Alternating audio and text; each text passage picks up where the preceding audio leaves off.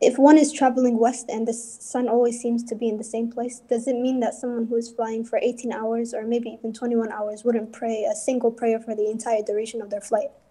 Okay, so you, you tell me, Nasra, how do we know the prayer times when we're flying? Um, by the position of the sun. Then this answers your question.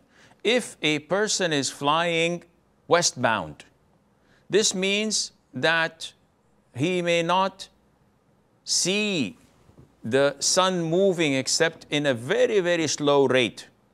So if I am to travel in the morning at 10 o'clock, going to Kuala Lumpur from Saudi Arabia, the flight is eight hours plus.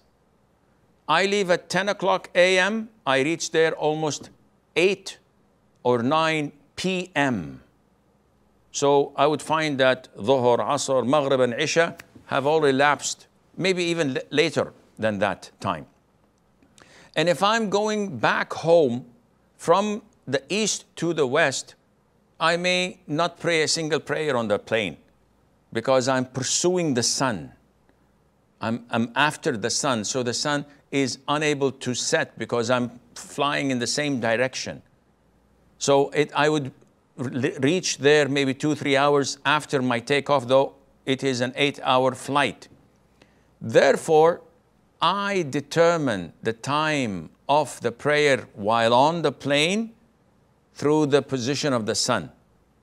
So in Fajr time, it's very obvious when it's all dark and then I see the white uh, uh, light or line in the horizon in the direction of the east, I know this is Fajr time. So I pray. I don't need to follow any app. I can see it visually. In sunset, the same thing goes in Maghrib because it's daytime and all of a sudden it's becoming darker and darker and I can see the sun setting and boom, it disappears. It's Maghrib time. Dhuhr and Asr might be a little bit tricky because I need to know whether the sun is in the middle of the sky going a little bit to the west, so this is the time of Dhuhr, or a little bit more, this is the time of Asr.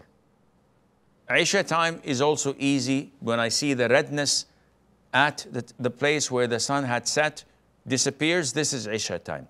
So Dhuhr and Asr is the time where you have to estimate, and if you wait until it is like an hour before sunset and you pray Dhuhr and Asr, that would be uh, uh, uh, no problem because Alhamdulillah you can combine.